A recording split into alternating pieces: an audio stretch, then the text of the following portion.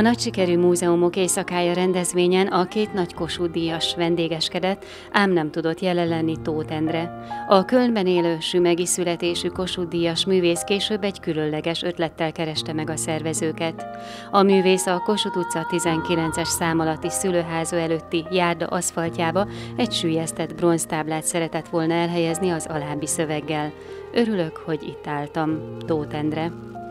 Az ötletet a megvalósítás követte. Múlt vasárnap létrejött az örömünnep. A művész hazalátogatott, ünneplők gyűrűjében András Ferenc Kossuth Díjas filmrendező méltatása közepette megtörtént az avatás, melyet aztán különleges beszélgetés követett, majd filmvetítés és találkozások a városban élőkkel, a régi ismerősökkel. A bronzba öntött örömtáblának előzménye, sőt nemzetközi története van. A táblák a művész életpályájának fontos állomásait hirdetik.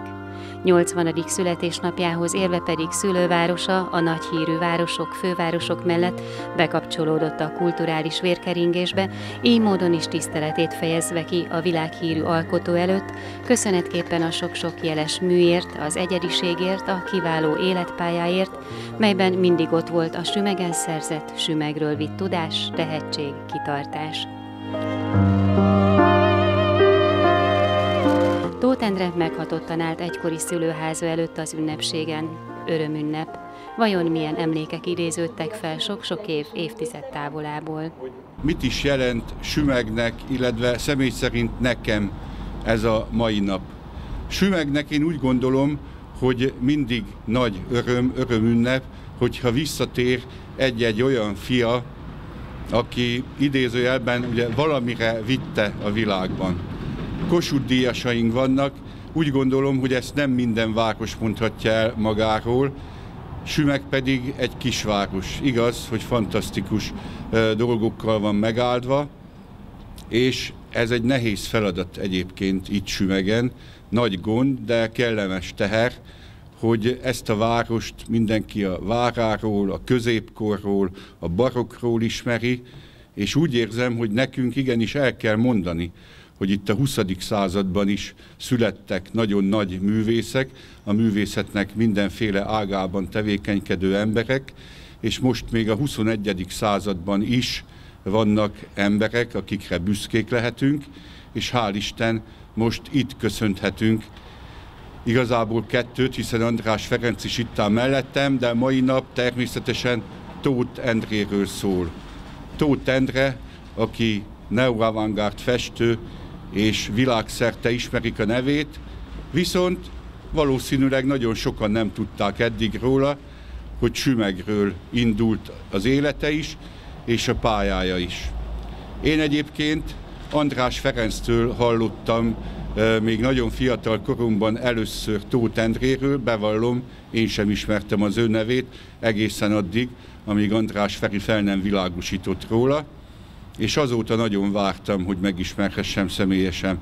És ez megtörtént két nappal ezelőtt, és el kell önöknek mondanom, hogy nagyon kellemes emlék marad életem folyamán, a hátralévő életemben. Ez az este, vagy ez a két este, amit vele tölthettem, és én valahogy így is képzeltem el Tóth. Egy őszinte, de nagyon életvidám, életszerető ember.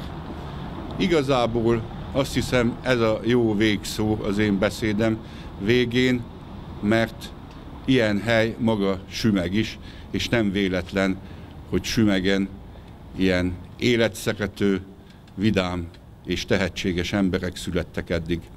Én kérem a jó Istent, hogy ezután is így legyen.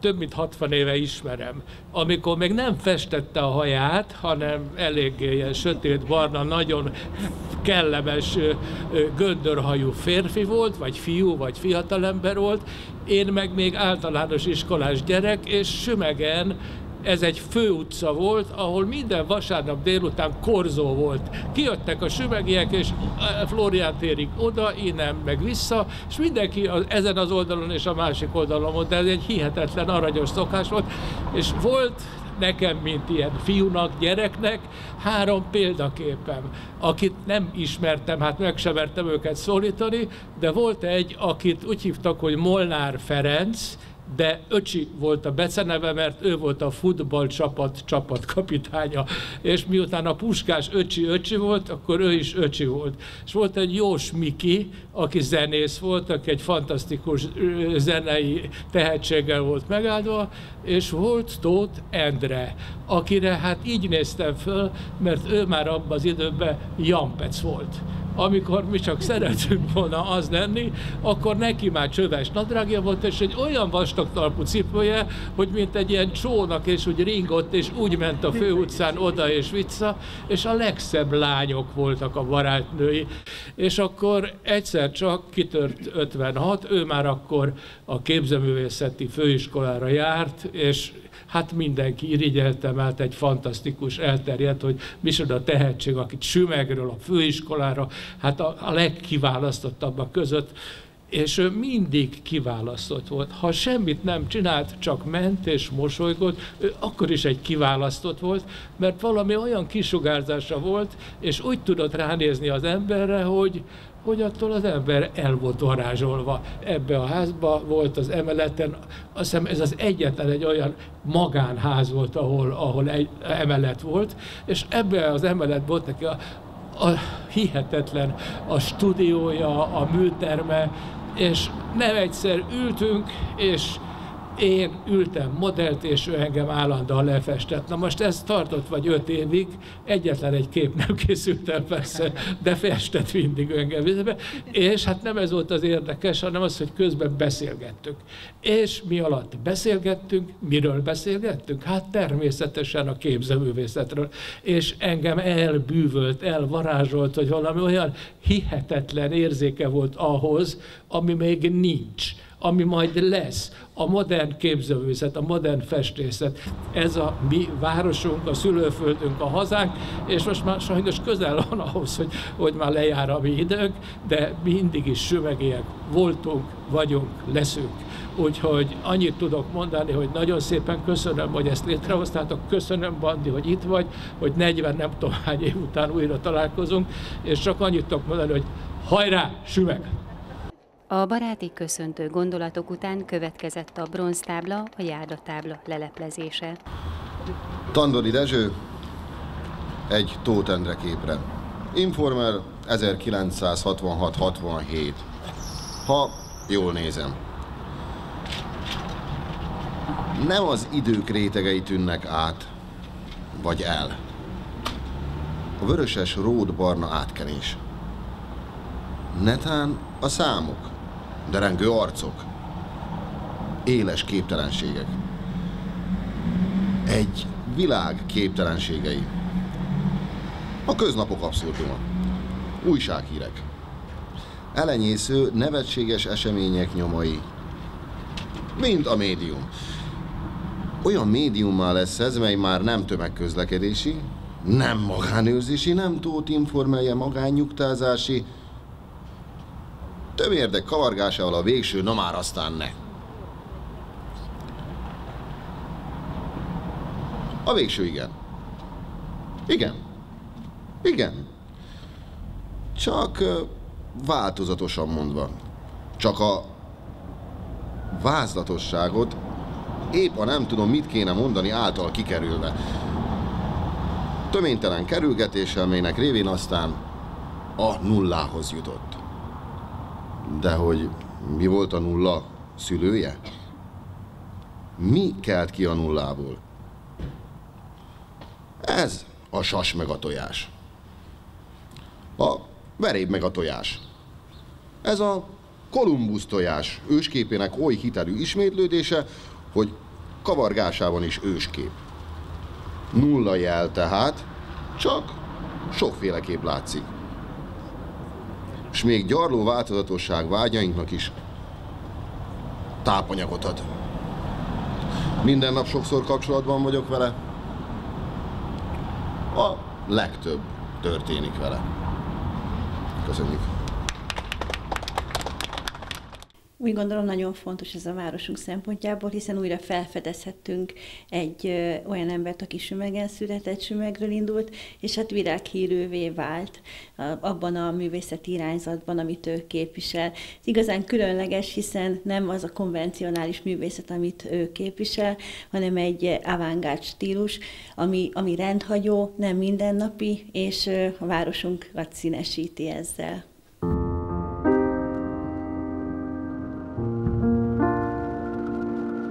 A program a Művelődési Központban folytatódott az örömbeszélgetéssel, melyet Hegedűs Orsolya művészettörténész vezetett. Érzelmileg, szóval nekem ez a roppant fontos, és hát ő, tudja, hogy miért vagyunk itt, ugye a, ez a bronztábla felavatás, és ez a negyedik vagy ötödik, vagy nem is tudom, a hatodik táblám a világban, külföldön is Budapesten is, vidéken, Debrecenben is van egy hasonló táblám a Kortás Múzeumban, és Pesten is közel az Operahához, a Pauli Erde utcában is a, a városomban, mert ugye Kölnben élek, a világhírű Ludwig Múzeumban a tetőteraszon is, is Na most azért szaporítottam, tudja a szót, mert nekem ez a legfontosabb tábla, amit ma avattunk föl az összes közül.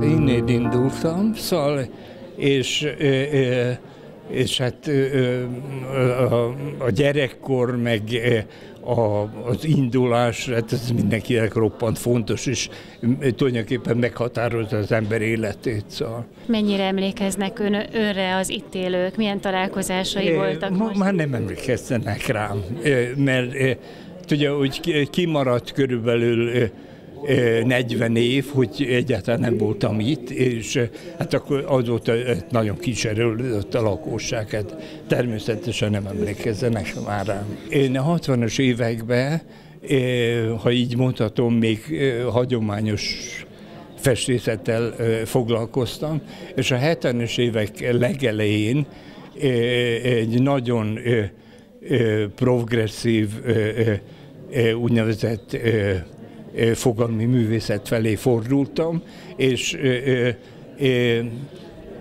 a 70-es években még Magyarországon éltem, és szóval ezzel a munkáimmal szóval nagyon elszigetelt voltam Budapesten, és de viszont a postán keresztül szóval nagyon gyorsan be tudtam kapcsolódni a nemzetközi avantgárd életébe, és, és hát szóval azóta is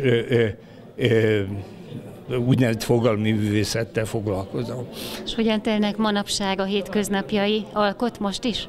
Hát most már nem nagyon. Most már nem nagyon.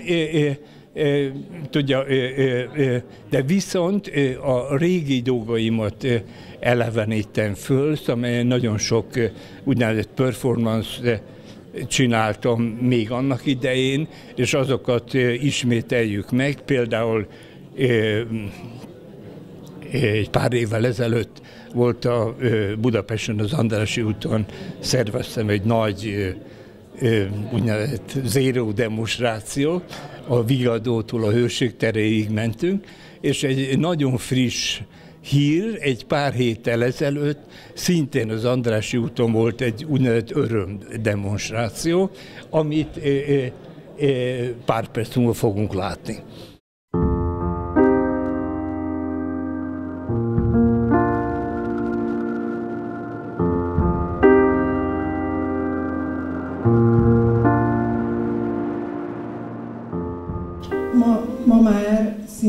Összes jelentős nemzetközi közgyűjtemény birtokol Endrétől egy vagy több művet. Gyakorlatilag a, a 70-es évek elejétől kezdve neki sikerült a nemzetközi művészeti életbe bekapcsolódnia, és már annak idején úgy, hogy Magyarországon élt a 70-es évek végéig, már akkor nemzetközi kiállításokra hívták, illetve önálló kiállítással is szerepelhetett egy jelentős múzeumban 1975-ben, a Jeruzsálemi Izrael Múzeumban.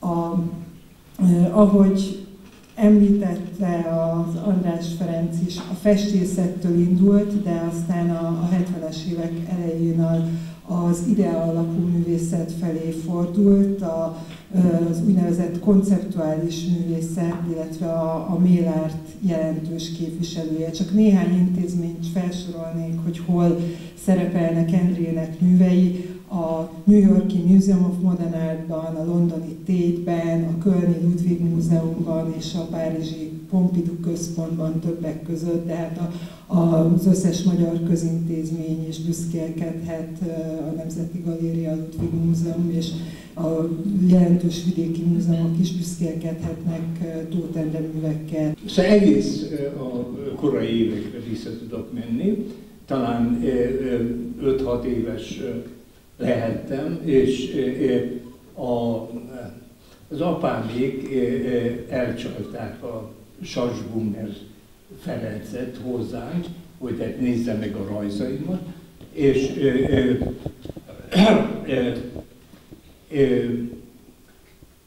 a Sasbumner különösképpen azt mondta, hogy igen, Szonya, ez úgy tűnik, hogy ez egy csoda gyerek, szóval, de nem szeretem a csoda gyerekeket, szóval várjunk, várjunk, hogy majd mi Egyszer tulajdonképpen ezzel kezdődött.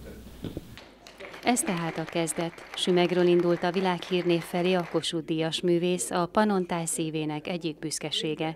Ez a délután az örömünnep egy újabb emlék, hazai emlék Tóth Endrének is, és a lelkes hálás városlakóknak is. A program a Művész Örülök, ha boldog vagyok című kisfilmjének vetítésével zárult. Marion Kálmán és Szabó Kristóf filmje idén ősszel készült. A hangsúly a mélárt, a fluxus és az informál művészet nemzetközi válásáról, valamint a Tóth Zero demonstráción van, melyek egy világhírű fogalmi művész koncentrált portréját alkotják. thank you